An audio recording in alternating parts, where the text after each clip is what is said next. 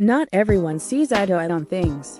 Some may even be jealous that Harry got away from that life. This week, there was a damning report about deceptive practices by the BBC used to land an interview with the late Princess Diana. On this topic, both Harry and William are of one mind. Lord John Anthony Dyson has been conducting an investigation. He was looking into whether BBC reporter Martin Bashir engaged in deceptive tactics with Diana's brother, Charles Spencer. The goal would have been to get introduced to the princess and, ultimately, to land an interview with her. The famous interview, for Panorama in November of 1995, was a turning point. Diana at the time said that there were three of us in this marriage, so it was a bit crowded. The following year, she and Charles were divorced. In 1997, Princess Diana tragically died. Prince William responded to Lord Dyson's report with a statement on Thursday, May 20th. He condemned the deceitful way the interview was obtained. William also spoken in strong defense of his dearly departed mother. I would like to thank Lord Dyson and his team for the report, Prince William credited. It is welcome that the BBC accepts Lord Dyson's findings in full which are extremely concerning, he suggested. William noted that BBC employees lied and used fake documents to obtain the interview with my mother. William described how BBC employees made lurid and false claims about the royal family. These were claims which played on her fears and fueled paranoia. BBC employees, he said, displayed woeful incompetence when investigating complaints and concerned about the program. And, William noted, they were evasive in their reporting to the media and covered up what they knew from their internal investigation. It is my view that the deceitful way the interview was obtained substantially influenced what my mother said. He lamented. William added the interview was a major contribution to making my parents' relationship worse and has since hurt countless others.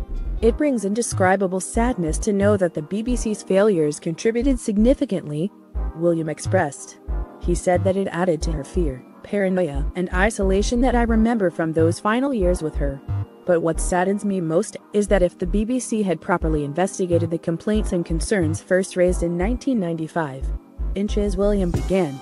He then said that my mother would have known that she had been deceived. She was failed not just by a rogue reporter, he asserted.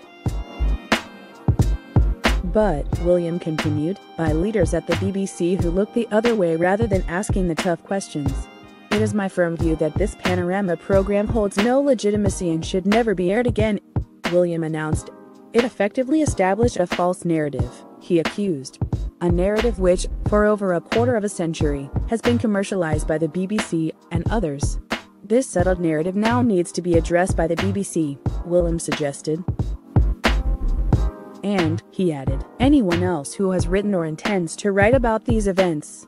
In an era of fake news, public service broadcasting and a free press have never been more important, William expressed. These failings, identified by investigative journalists, not only let my mother down and my family down, William stated.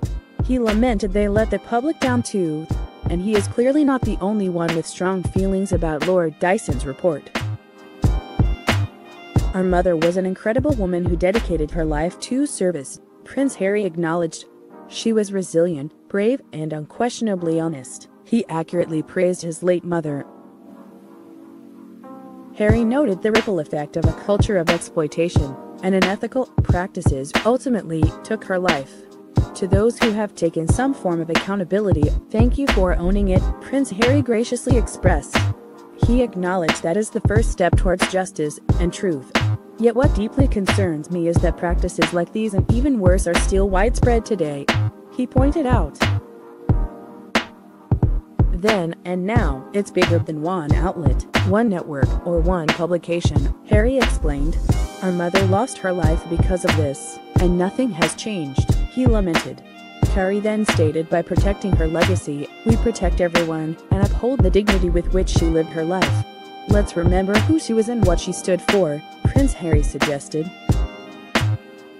These two brothers gave speeches that struck very different tones, while still conveying similar messages.